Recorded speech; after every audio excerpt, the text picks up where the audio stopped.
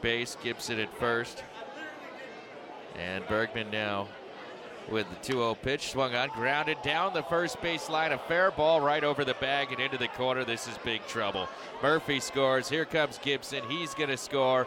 Bemboom stops at second base with a two run double. And the Isotopes have taken the lead. It's 2 to 1 Albuquerque.